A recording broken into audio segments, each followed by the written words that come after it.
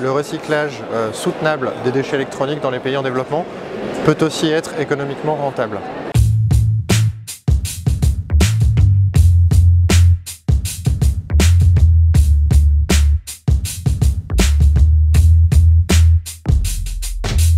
Ils se sont rendu compte qu'en réalité, ces déchets, euh, c'est certes dangereux, mais également ça a un potentiel économique. Parce que dans ces déchets, vous retrouverez des métaux, des métaux lourds comme le plomb, le, fer, le cuivre. c'est des métaux qui sont généralement utilisés euh, dans les processus de fabrication. On peut donc euh, extraire ces, ces différents composants-là les diriger vers des filières, n'est-ce pas, repreneuses et du coup, à, à grande échelle, n'est-ce pas, ça peut constituer en réalité une rentabilité.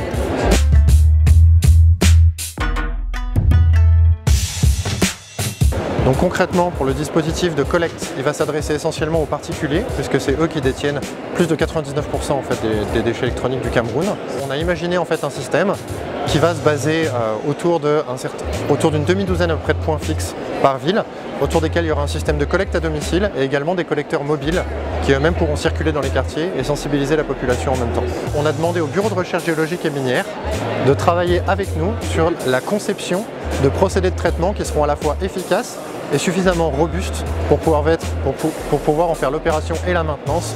dans des conditions locales.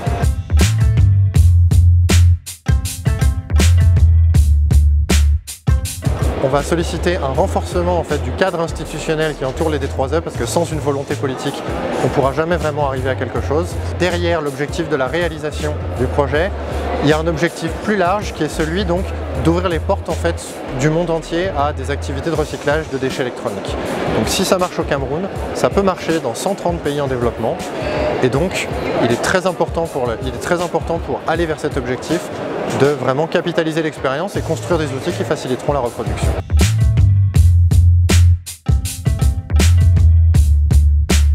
Donc le prix Convergence, déjà le fait de l'avoir remporté va nous permettre déjà d'avoir une certaine visibilité parce que la communication que nous allons faire là-dessus et que même Convergence va nous aider à faire là-dessus va déjà permettre de connaître davantage sur réalité technologique et son activité, le projet WICAM, n'est-ce pas, à travers le Cameroun, l'Afrique et tous les pays en développement pour lesquels nous souhaitons repliquer l'activité au moment venu. On va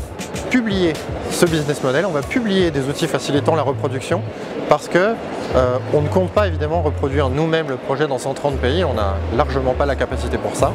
Donc on est plutôt là pour mettre les outils justement à disposition des gens et notamment des opérateurs privés parce que c'est eux qui pourront porter une reproduction bien plus rapide que ce que nous on peut faire, tout simplement parce que derrière le secteur privé, il y a les capitaux privés et que ça donne une puissance d'action qui est très supérieure.